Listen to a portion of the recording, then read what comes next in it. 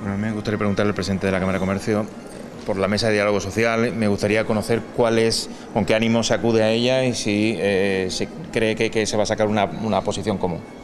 Bueno, es complicado, es complicadísimo. ¿no? Eh, está claro que eh, veníamos de, un momento estable en el que todo el mundo estaba cómodo como se había planteado las cosas, que se había llegado a un acuerdo para que el trabajador también se beneficiase de las bonificaciones. Todo eso ha desaparecido.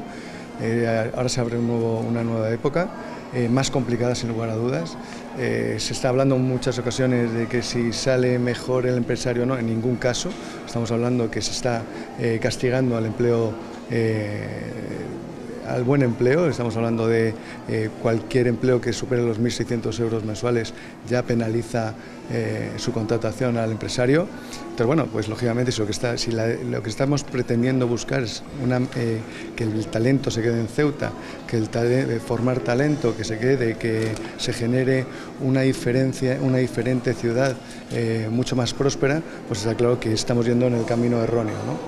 Obviamente tenemos que entender que aquí en Ceuta eh, nos conocemos todos, que todos tenemos que luchar por los intereses de todos y no cabe duda que el sector empresarial eh, cree que también el trabajador tiene que eh, estar lo mejor posible. Con lo cual en esa mesa de diálogo lo que sí hay es un espíritu conciliador un espíritu de intentar mantener esa paz social que, ha, caracterizado todos estos, estos años y bueno, en eso vamos a luchar.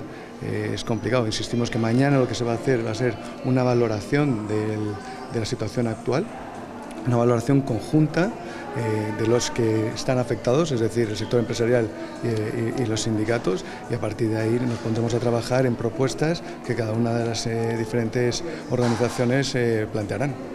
Sí, pero para conseguir esa paz social, evidentemente, supongo que se plantea desde el punto de vista de mantener las ayudas como está, pero ¿quién lo paga? Porque si eh, eh, hasta ahora lo pagaba el Estado y el Estado solo va a pagar hasta un tope, digamos así, ¿quién paga eso? Eso es lo que tenemos que estudiar mañana. Efectivamente, una de las razones por las que nos sentamos es para valorar lo que tú estás diciendo, que desde nuestro punto de vista es lo que vamos a contar, que efectivamente ya no está lo que antes estaba y ahora vamos a ver quién paga esa factura, claro que sí.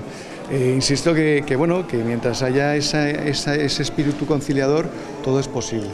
Entonces nosotros eh, guardamos esperanzas en las reuniones que vamos a tener mañana y luego, pues lógicamente, tendremos que luchar en volver a, eh, la situación anterior, que es muy complicado porque lógicamente nada hace pensar que eso vaya a ser así, pero lógicamente no podemos quedarnos cruzados de brazos a la vista del daño que se ha hecho a la economía ceutí.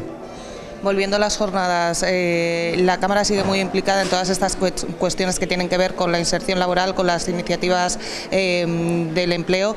Eh, ¿Lo consideráis que es fundamental en vuestro trabajo diario? No, además eh, resulta y además es algo que siempre hemos caracterizado desde Cámara de Comercio, como hemos, hemos puesto eh, el acento, ¿no?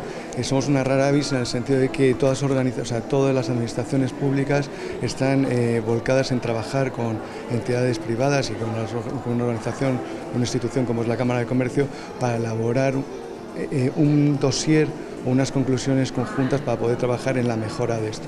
Eso sin lugar a dudas nos hace más competitivos a Ceuta. O sea, eh, eh, hay que dar la enhorabuena a la dirección del SEPE que haya tenido esta iniciativa, sobre, todo también las gracias porque haya confiado en nosotros en la organización de, un evento tan, tan, tan, tan importante y por supuesto, pues bueno, a partir de ahí luchar porque esas conclusiones lleguen a donde tienen que llegar y nos permitan trabajar a todas las entidades que estamos colaborando con el SEPE para efectivamente no se produzcan esos solapamientos que muchas veces lo que hacen es generar una frustración o a lo mejor eh, evitar una mayor productividad en ese esfuerzo que tenemos todos y ese compromiso indiscutible que es eh, la lucha contra el desempleo.